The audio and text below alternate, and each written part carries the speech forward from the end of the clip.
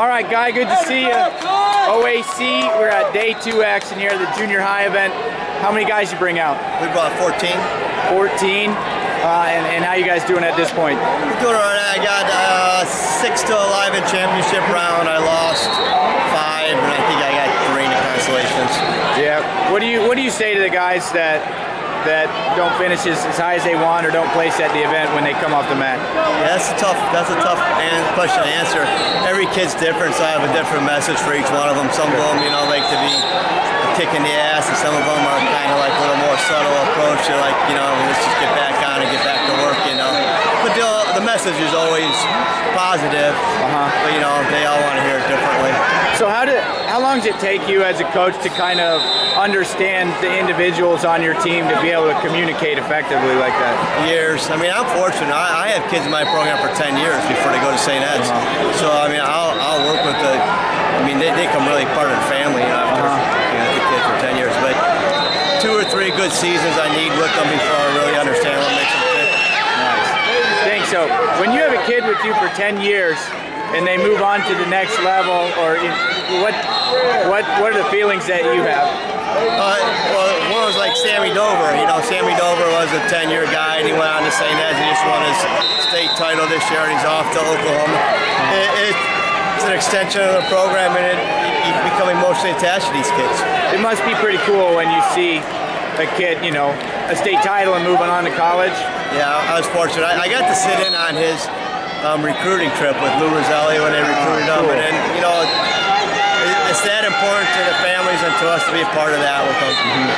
So when it, when somebody does move on, what are some of the ideas or some things that they take from you as a coach or the program? I just hope they take work ethic with them. You know, we're never flashy. You see West Shore and St. Ed's. You know, it's not like we do anything crazy. We just work hard.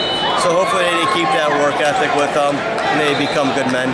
Gotcha. So I was looking yesterday, walking around the concourse, and I see uh, these photos of like um, finishes from this tournament, like five, six, seven, oh eight, and just unbelievable. You know, guys that moved on and were multiple-time All-Americans, getting like fourth place and fifth place. Um, are the kids today in line to, to, do you think, to have the success that those guys did, or can you even can you tell that? No, I, I to be honest with you, I think there's some of them are a little weaker right now. Yeah. Um, who's the David Taylor? Who's the Logan Stieber? Who's uh, Gotcha. You know, there, there's no one that really jumps out like that right now. Uh-huh. Um, I'm sure they'll emerge, but right now it's a pretty even playing field. Gotcha. So how about in terms of like where Ohio sits in the country? Um, you know, it's always in that conversation. Uh, you know, top five state in the in the country. Um, with the dynamic of wrestling today, is it still like in the same spot, or gaining ground, or losing ground to? Uh, I think states? we're probably right where we've always been. Yeah. Um, very competitive. I don't see us losing ground anywhere there. I see maybe more, like I said, more of a level playing field. There's not so many superstars, but there's still some pretty tough kids. I love coming to OAC events. Um, you're, you and Defense Soap are a sponsor here, and you see lots of events.